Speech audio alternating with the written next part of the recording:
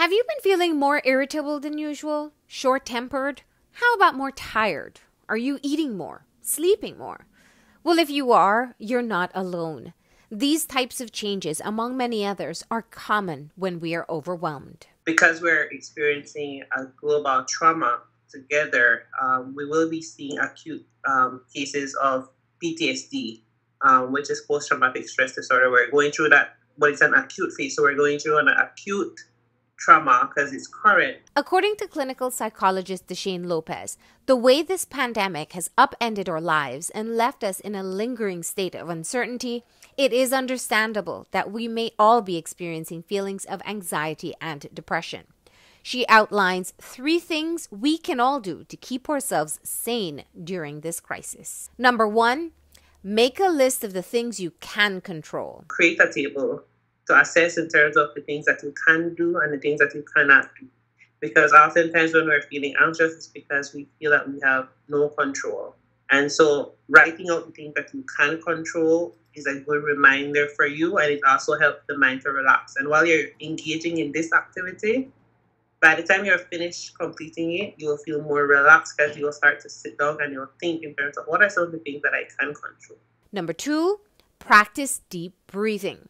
The second one, um, one of the favorite things that I prefer is deep breathing because deep breathing is um, research has shown that that helps to reset the physiological changes that our body experience, right? So when we're in that state of distress, when we're anxious, we have a lot of physiological changes. Um, we sweat more, um, we sweat, our heartbeat increases, we're unable to concentrate properly, and then we start to notice even the blood flow in our body. We're very sensitive to what's happening to our changes in our body. So mm-hmm. when you engage in deep breathing, you breathe from the stomach rather from the chest, and what that does, it helps to calm the entire body. Number three, stop the information overload. The third thing is I would like to recommend people is to take time away from the internet. Or if you do use the internet, take time away. Don't go on. Don't go on Facebook. Don't focus on the news. Don't watch the news for a while. Don't go on YouTube to get the latest update. Take a pause. That pause is very important because one, it gives you time to process the feelings that you are feeling at this point. You do understand that at this point there is so many different emotions coming up.